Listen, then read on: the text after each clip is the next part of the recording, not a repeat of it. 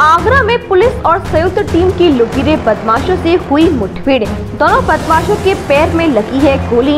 उपचार के लिए एसएन मेडिकल कॉलेज में कराया गया है। दोनों लुटीरे बदमाशों को भर्ती। सैयद थाना क्षेत्र में हुई थी दिन दहाड़ी लूट की वारदात। लुटेरे बदमाश आनंद शर्मा और शिवम शर्मा को क्रॉस फायरिंग में लगी गोली।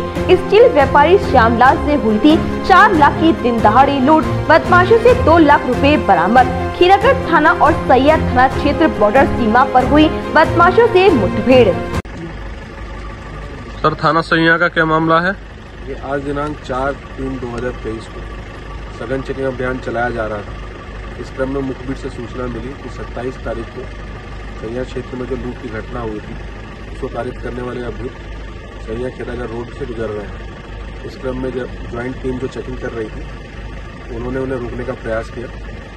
तो बसई मोड़ पर उन्होंने पुलिस पर जान लेने की नीयत से फायर किया। इस क्रम में पुलिस ने भी आत्मरक्षा के लिए उन पर चार राउंड फायर किए। घायलों को तत्काल डिस्ट्रिक्ट हॉस्पिटल ले जाया गया और वहाँ से उन्हें एस मेडिकल कॉलेज रेफर किया गया है। घटनास्थल से ब्लू अपाचे, दो तमंचा 315 बोर, तीन ज़िंदा कारतूस और तीन खोखे बरामद किए गए।